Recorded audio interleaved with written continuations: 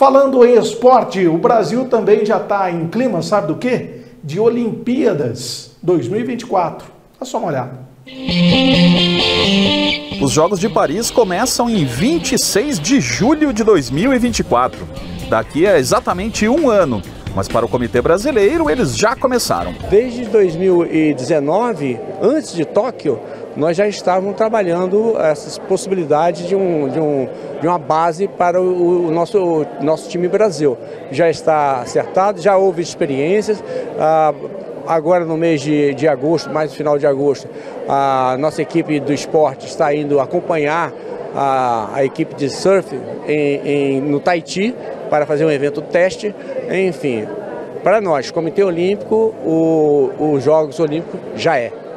Além do pessoal dos bastidores, é claro que muitas estrelas principais da festa que vai rolar ano que vem lá em Paris também estiveram presentes no evento.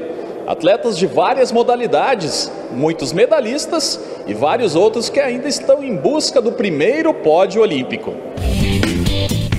Ouro no salto e prata no individual geral em Tóquio, Rebeca Andrade ainda tem o Mundial e o PAN neste ano para chegar leve em Paris. Mas o foco principal mesmo é chegar na competição feliz, saudável, para fazer o melhor, para sair de lá com a certeza de que eu fiz tudo que eu podia, sabe? Assim como foi em Tóquio. Eu lembro que quando eu pisei na, na vila, eu olhei para o céu e falei, Deus, eu quero sair daqui mais feliz e mais grata do que eu já estou. E foi o que aconteceu. Então é essa sensação que eu quero ter também depois de Paris. E, e acho que em qualquer competição que eu vá na minha vida, é essa sensação sensação que eu quero ter, de saber que eu fiz tudo que eu podia e que eu não mudaria nada.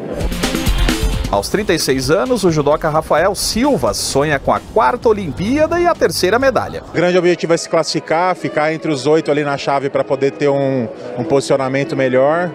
E a perspectiva assim, é de lutar bem. É, fui bem esse ano, então eu sei que eu tenho chance de chegar lá e buscar por resultados. Assim.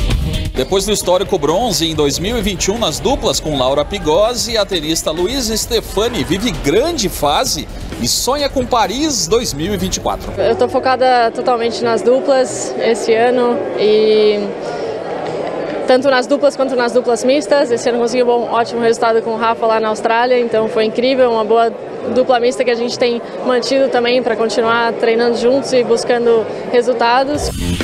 Campeão sul-americano, o Rugby Sevens feminino já tem vaga em Paris e quer seguir conquistando espaço em nível mundial. Terceira Olimpíada, então a gente pretende estar tá aí numa posição cada vez melhor, atingir dessa vez um top 8 e assim ir angariando posições melhores para o rugby brasileiro.